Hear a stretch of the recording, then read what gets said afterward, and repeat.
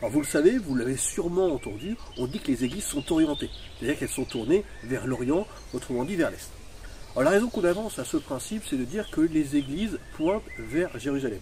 Alors, oubliez cette idée, hein, elle est fausse, et je vais vous le démontrer. La véritable raison est symbolique. Si on regarde de plus près euh, l'orientation des églises, on constatera d'ailleurs qu'elles sont plus ou moins orientées. Il y a même certaines églises qui s'opposent à la règle puisqu'elles pointent vers l'ouest. Voilà euh, qui demande quelques explications, c'est ce que je vais tenter de, faire rapidement sans vous déboussoler. Alors je voudrais faire deux avertissements. Quand je, quand je dis qu'une église est orientée vers l'est, je fais une petite faute de français. Je fais ce qu'on appelle un pléonasme. Je dis deux fois la même chose. évidemment qu'une église est orientée vers l'est, l'Orient se trouvant toujours à l'est. Euh, deuxième avertissement, euh, j'ai parlé tout à l'heure d'une règle, une règle d'orientation des églises. En fait, ce n'est pas une règle. Aucun texte ne commande euh, d'orienter les églises. Le pape n'a jamais décidé que toutes les églises qui sont construites dans le monde seront orientées. cette orientation est plutôt le résultat d'une tradition. On a toujours fait comme ça et on continuera encore. Alors pour preuve de l'absence d'une règle, il faut savoir que les premières églises chrétiennes édifiées à Rome c'est-à-dire les basiliques Saint-Pierre du, Vatican ou Saint-Jean de Latran, étaient occidentées.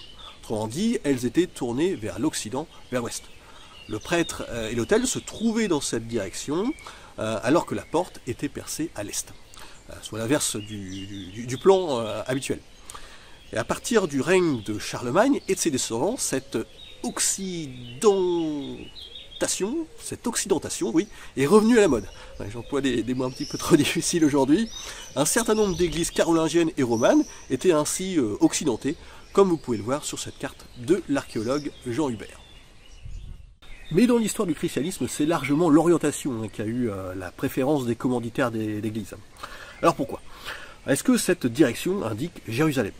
A priori, d'un point de vue euh, géographique, ça se tient. Euh, la France est ici et Jérusalem approximativement vers l'est. Mais qu'est-ce qui se passe si on choisit une autre région du monde? L'orientation des églises s'adapte-t-elle? Je vais prendre par exemple l'Arménie. C'est un pays intéressant car il est très anciennement christianisé. Et si ses habitants ont pris comme tradition d'orienter leur église vers Jérusalem, elle devrait en théorie être orientée sud, sud-ouest.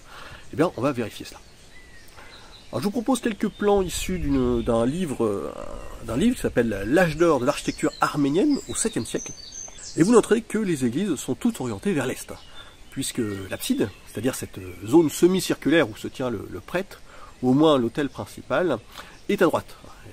Alors c'est vrai qu'il n'y a, pas de, rose des vents à côté de ces plans, mais l'auteur, hein, Patrick Donabédian, avertit dès les premières pages que tous les plans sont orientés. Les églises sont tournées à l'est à quelques degrés près. Alors qu'on devrait s'attendre à une orientation vers le, sud, ou sud-sud-ouest, si on se réfère à la direction de Jérusalem sur la carte. En fait, partout dans le monde, les édifices chrétiens regardent vers l'est. Ils se moquent de leur situation géographique par rapport à la ville sainte. Maintenant, comment expliquer cette habitude? Euh, Tout est question en fait de symboles. Euh, vous ne me contredirez pas si je vous dis que le soleil se lève à l'est. Autrement dit, c'est de ce point cardinal que la lumière triomphe des ténèbres.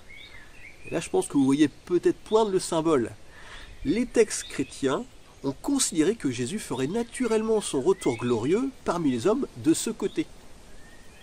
Et lors de la messe, le peuple, le prêtre, priait donc vers l'Est dans l'attente de ce grand moment que serait la seconde venue du Christ sur terre.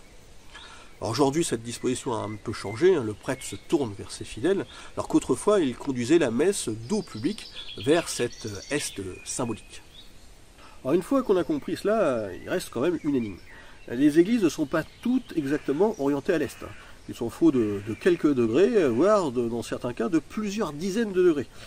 Alors je vous ai choisi quelques églises au hasard hein, sur le site Géoportail pour vous euh, le montrer. On pourrait justifier ces divergences euh, en mettant en doute la qualité de la boussole des constructeurs. Mais pas de chance, au Moyen Âge, cet instrument n'avait pas encore été inventé. La faute est plutôt à rechercher du côté de ce fichu soleil qui n'arrête pas de bouger. Non seulement il se déplace au cours de la journée, mais aussi son point de départ change tous les matins. Vous en avez déjà eu euh, l'expérience. Hein, il se lève plus ou moins à, l'est selon euh, l'époque de l'année. Or, on peut supposer que les bâtisseurs utilisaient le lever du soleil comme point de référence pour euh, orienter leur église. Et d'ailleurs, certains, chercheurs s'amusent à retrouver la date de fondation de l'église à partir de son orientation. Ils sont euh, par exemple capables de dire, puisque l'église est orientée à 107 degrés, c'est qu'elle a été fondée un 19 février. Et parfois ils se rendent compte que le jour n'a pas été choisi euh, au hasard, il correspond à la fête du saint ou de la sainte à qui est dédiée l'église c'est fascinant, mais je vous avoue que je ne suis pas totalement euh, convaincu par cette explication selon laquelle les églises sont plus ou moins orientées selon l'endroit où, le soleil a pointé euh, son nez le jour de la fondation du monument. Prenez la cathédrale de Chartres, hein. elle est vraiment de travers, hein, trop même. Si je trace son axe, je trouve un angle de 43-44 euh, degrés. 0 degré correspondant au nord et 90 degrés à l'est. Avec un résultat de 43-44 degrés, la déviation est trop forte par rapport à l'Orient euh, pour être liée au Soleil. Au minimum, le jour du solstice d'été, le 21 juin, le Soleil se lève à 52 degrés. Bref, les bâtisseurs de la cathédrale n'ont pas visé l'astre pour déterminer l'axe de la construction. L'argument solaire, astronomique si vous préférez, euh, euh, me gêne pour une deuxième raison. Ce plan va me permettre de vous le faire comprendre. C'est un plan de la ville de Besançon. Est-ce que vous remarquez quelque chose d'étrange? euh, déjà, euh, aucune église euh, n'est strictement tournée vers l'est. Deuxièmement, elles semblent toutes orientées selon le même axe, vers le nord-est.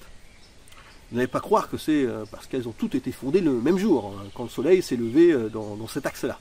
Non, ça serait quand même une sacrée coïncidence. Alors pourquoi cette orientation préférentielle? Ben, Vous avez quand même la réponse sous les yeux. Hein. Fixez le réseau des rues. L'orientation des églises semble respecter leur trame, une, trame vaguement orthogonale héritée de la ville euh, gallo-romaine. Vous avez la même chose à Paris, Lyon, Bordeaux, Troyes, Poitiers. Si les églises de ces villes ont leur axe principal de travers, c'est pour concorder avec un réseau de rues préexistant. Rien d'astronomique ou de symbolique là-dedans, juste une question d'urbanisme. En préparant cette vidéo, je suis tombé par hasard sur un discours du pape François, le pape euh, actuel. Et ses premières paroles euh, étaient surprenantes il disait euh, Il fut un temps où les églises étaient orientées vers l'est, on entrait dans l'édifice sacré par une porte ouverte vers l'occident, et en marchant dans la nef, on se dirigeait vers l'orient. Bah, bah, c'est toujours comme ça. Hein. Bah, non, le pape euh, ne se trompe pas. Hein. Depuis 300 ou 400 ans, le principe de l'orientation est de moins en moins appliqué pour les nouvelles églises. Vous trouvez en fait des édifices dans tous les sens. Et pour preuve, allons voir la cathédrale de Marseille, Sainte-Marie Majeure. C'est une construction récente, assez récente, la seconde moitié du XIXe siècle, et l'architecte ne s'est pas gêné pour pointer l'église, comme vous le voyez, vers le nord. Alors pourquoi, pourquoi cette aberration? On peut supposer que son projet était tellement énorme qu'il n'y avait pas assez de place pour l'installer dans le sens traditionnel est-ouest. Une partie du monument euh, risquait de se retrouver euh, dans la mer. On peut aussi supposer que c'était euh, aussi le meilleur sens à, lui donner pour obtenir une belle perspective. Quand vous arrivez, euh, vous êtes à Marseille et que vous arrivez de l'avenue euh, Vaudoyer, vous tombez sur une grande esplanade, qui permet d'admirer la, façade de l'édifice. Alors pas sûr qu'en respectant l'orientation d'origine, l'architecture aurait bénéficié d'un tel recul. Bref, il ne faut pas négliger les préoccupations esthétiques dans l'élévation d'une cathédrale ou de n'importe quel monument quitte à jeter aux orties certaines traditions chrétiennes. Retenez de cette vidéo que les églises sont majoritairement orientées dans, le monde, non pas pour indiquer la, direction de Jérusalem, mais plutôt pour que les fidèles soient tournés vers le soleil levant pendant leur prière. Euh, cependant, de plus en plus d'architectes d'églises se dispensent de respecter cette orientation traditionnelle, et d'ailleurs, dès le début du christianisme, des églises étaient carrément occidentées. Voilà, maintenant je compte sur vous. Hein. la prochaine fois que vous visiterez une église, hein, prêtez attention à son orientation avant d'entrer à l'intérieur. Hein, aidez-vous pour cela de la, position euh, du, soleil ou d'un plan urbain. c'est le genre de caractéristiques qui passent inaperçues quand vous vous trouvez au pied du monument. Alors si le sujet vous a passionné, parcourez les références que j'ai mises euh, en dessous de la vidéo.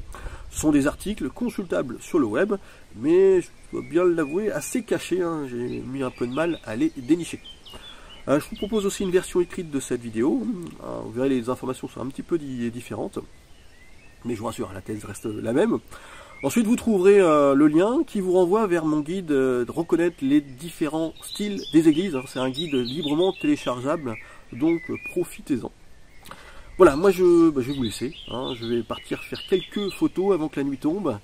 Et n'oubliez pas, hein, pour être averti de la prochaine vidéo, abonnez-vous